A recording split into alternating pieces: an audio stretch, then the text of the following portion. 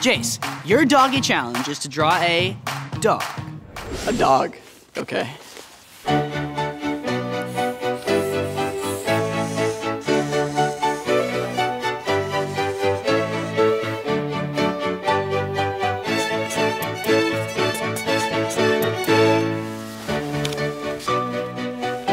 Pretty good.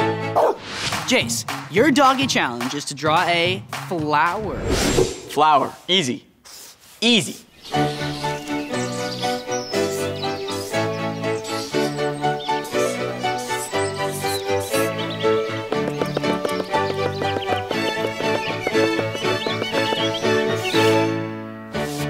That's pretty good, right? Jace, your doggy challenge is to draw a dog bowl. Dog bowl? Bowl?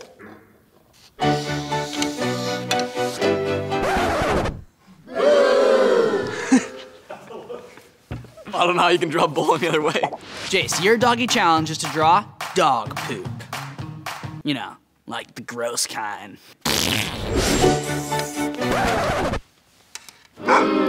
Wait, I'm not done.